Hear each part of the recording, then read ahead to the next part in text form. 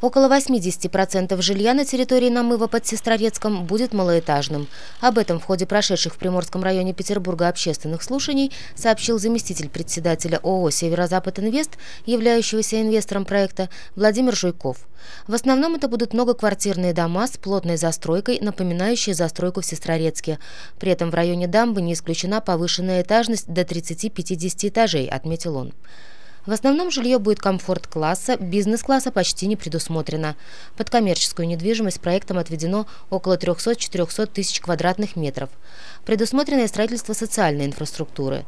Это 19 новых детских садов на 2120 мест, 10 школ на 6825 человек, трех поликлиник и 8 спортивных комплексов, библиотека, музыкальная школа, подростковые клубы, дом правосудия и центр социальной помощи. Будут выделены помещения для местной администрации и органов правопорядка. Представитель архитектурной студии «Северная столица», которая разрабатывает проект планировки межевания, Таисия Калашникова сообщила – всего в результате нового строительства будет возведено 2 миллиона квадратных метров недвижимости.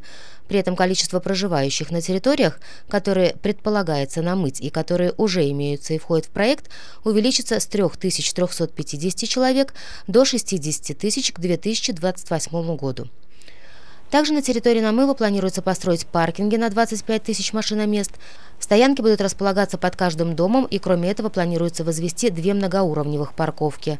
Также по проекту предусмотрено строительство яхтенной гавани. Предполагается, что она сможет принимать до 400 судов и станет крупнейшей в Петербурге. Кроме того, гавань будет соответствовать всем олимпийским требованиям. Владимир Жуйков отметил, в настоящее время затраты в проект оцениваются в 250 миллиардов рублей, и Северо-Запад Инвест претендует на то, чтобы проект стал стратегическим для города. Для этого ведутся переговоры с Комитетом по инвестициям и стратегическим проектам. Что касается транспортной инфраструктуры, то предполагается строить две новые магистрали. Трасса М1 станет дублером Приморского шоссе. Она будет стыковаться с дорогой М49, которая обеспечит выход на западный скоростной диаметр. Транспортные потоки будут выведены в Василиостровский и Кировский районы, а также на Приморский проспект. Новые магистрали планируют построить за счет бюджета, поскольку дороги территории общего пользования. Северо-Запад Инвест намерена подготовить собственную архитектурную концепцию развития территории, а затем провести конкурсы с привлечением не менее 10 международных компаний. По данным Prime TAS, Северо-Запад Инвест является дочерней структурой московской компании «Новотек». Владелец этой компании Леонид Михельсон занимает, по данным Forbes, десятое место в списке богатейших предпринимателей России.